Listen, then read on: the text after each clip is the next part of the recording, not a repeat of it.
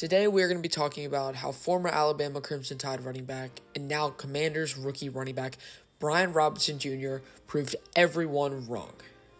Robinson attended Hillcrest High School in Tuscaloosa, Alabama. After having only one touchdown in his junior season, Robinson made a huge jump in the Hillcrest offense, scoring 14 touchdowns on 781 rushing yards while averaging 6.3 yards per carry. After holding offers from a number of Division 1 schools, Robinson decided to take two visits to Alabama, one being an official and one being an unofficial, leading to his commitment to the Crimson Tide. Despite Alabama being a top school, Robinson knew he was going to have to compete with other prime running backs in his class committing to Alabama, such as Najee Harris and Cam Akers. Once Robinson got to campus at Alabama, he immediately put his head down to work, knowing that he would have to prove himself if he was going to make a name for himself in the sport of football. After three seasons at Alabama, where Robinson had been playing behind NFL caliber running backs such as Damien Harris and Najee Harris, Robinson finally picked up momentum in the 2020 21 season.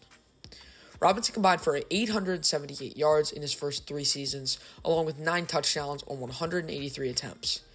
Now, in the 2020 21 season, Brian Robinson was the running back two for the Crimson Tide, just behind Steelers running back Najee Harris, where he played solid football with 483 yards and six touchdowns. After Najee left and was drafted by the Steelers, it was Robinson's turn to lead the Alabama Crimson Tide, and he did just that.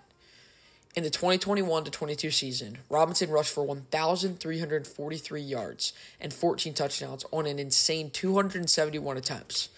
Those yards put him at 15th in the country behind running backs such as Breece Hall and Kenneth Walker III. After coming off a fantastic year with the Alabama Crimson Tide, Robinson declared for the NFL draft.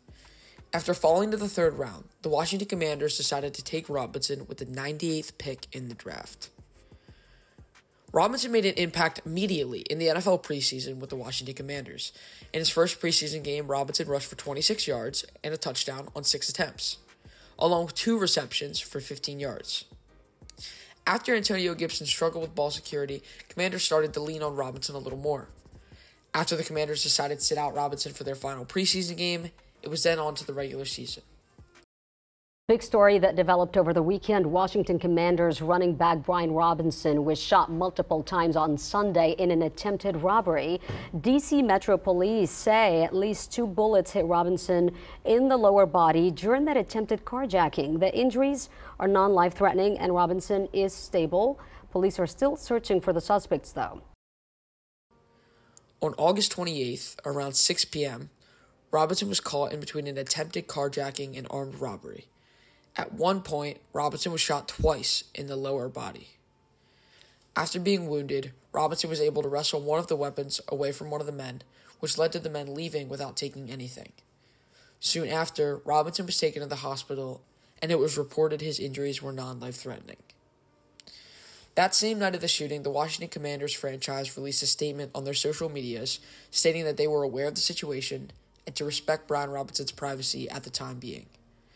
Commanders fans and just football fans in general were very supportive when it came to sending prayers for a quick recovery, with many fellow NFL players tweeting and releasing statements about the incident.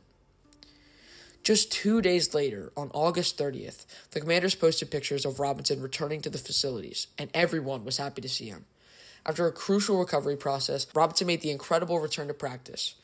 On Wednesday, October 5th, just 38 days after being shot in his leg, the rookie running back returned to practice. Commanders head coach Ron Rivera reported Robinson had no problems running routes, but made it clear he was going to ease Robinson into his NFL regular season debut. After taking it easy with the running back coaches and head coach Ron Rivera, Robinson was activated to play on Saturday, October 8th, in the Commanders matchup versus the Titans. Ron Rivera stated Saturday that Brian was a little sore in practice Wednesday, but finished the week off very strong in Thursday and Friday's preparation for the game. After a big build-up and the Commanders fans going crazy, Robinson did in fact play versus the Tennessee Titans in the Commanders' loss. Not only did Robinson play, but he led the running back corps of him, Antonio Gibson, and J.D. McKissic in carries. In the end, Robinson finished with 22 yards on 9 carries, averaging 2.4 yards per carry. After the game, although Commanders fans were disappointed about the loss, no one in the stadium was not happy for Brian Robinson Jr., and he made sure to get a jersey swap with former Alabama Crimson Tide teammate Derrick Henry. After his regular season debut, Robinson was named the starting running back going into the Bears game on Thursday Night Football. Robinson and both teams started off the game slow, but the Commanders heavily picked it up in the fourth quarter. After being down 6 to 7, Robinson and Wentz led a drive which ended in a Brian Robinson 1-yard touchdown run. Also just happened to be the game winner.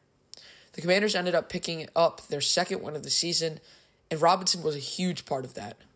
He finished with a touchdown as well as 60 yards on 17 carries, averaging 3.5 yards per carry. Not only do I think that Robinson's story is one of the craziest we've seen in recent history, but I genuinely think Brian Robinson will have a great NFL career as a great back in the NFL. It's tough to say Robinson did not prove a lot of people wrong.